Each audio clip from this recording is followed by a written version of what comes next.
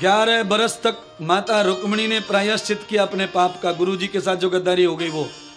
जानबूझ के नहीं की पानी पीना कोई बुरी बात नहीं है, पर बिना गुरु जी की पूजा के, बिना भगवान को पूछे पानी पी लिया। भगवान और पति देव ये अगर मौजूद नहीं है तो अलग बात है, पर सामने मौजूद हैं तो पत्नी का इतना फ़र्ज़ तो अवश्य ही बनता है कि वो पति को कहकर खाए पिए। लीजिए, जल पी लो, भोजन कर लो, नाश्ता कर लो।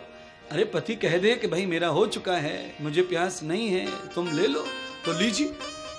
अच्छा नुकसान क्या हो गया? नुकसान क्या हुआ ये बताना पति को पूछ लिया तो घाटा पड़ा क्या? सास को पूछ लिया, घाटा क्या पड़ा? ज़रूरत है तो दुनिया भर के फ्रिज में बोतल रखी है पी लो। एक सेकंड में अपन पी लेंगे क्या? घाटा। केवल मान मर्यादा से ही सारे धर्म निभाए जा सकते हैं। घाटा कुछ नहीं है। एक सेकंड पहले पीना क्या और बाद में पीना क्या? पर किसी को सरताज पहनाने से जब हमें सब कुछ प्राप्त हो सकता है तो पहना देना चाहिए। हाँ सास को सासू माँ बना के रखो, ससुर जी को ससुर जी बना के रखो पति को पति जी बना के रखो, पत्नी को पत्नी जी बना के रखो तो घर घर अपने आप स्वर्ग स्थापित हो जाता है। फिर घर घर नहीं, स्वर्ग स्थापित हो जाता है। आ? सुनो, आधा तो तुम बोलती हो, आधा मेरे से ले लो। तुम क्या बोलती हो अपने पति को? ओ ओ ओ। तो ओ जो है, वो तुम्हारा, और गुरुजी से ले लो थोड़ा सा। ओ जी इतना कह दो बस हो गया काम खत्म। ओ जी कहते से ही पृथ्वीराज चौहान हो जाएगा वो।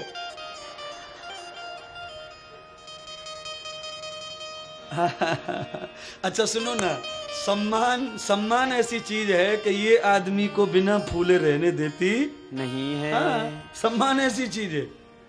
और ये ये ये जो खाली डिब्बे हैं इनको सम्मान होना कदम कदम पे। ससुराल जाएँ तो पंद्रह बीस लोग होना। जीजा जी कैसे? जीजा जी, कब आए? जीजा जी, कब गए? जीजा जी, बड़े दिनों में। जीजा जी, ओ जीजा पेंट में से बाहर हुआ जा रहा। तभी इसको अच्छा लगे ससुराल में। हाँ और ऐसे जीजी ऐसी बहन आवे घर पे तो कम से कम पाँच छह लोग होना ताई कब आई? ताई कैसा है? अच्छा ताई वो कैसे हैं? पौने कैसे? पावने कैसे? कुबरी कैसे? मेहमान कैसे? ताई को भी मन करता है बार बार आने का। मायके चलो मायके चलो मायके चलो। ताई आके बैठी, थैला खुद ही रख दिया और गोदी में जो गुड्डू था वो भी खुद ही बेड पे उतार दिया। कोई पूछने वाला नहीं है। ताई कहती है, मैं नहीं आऊँगी दिवाली में।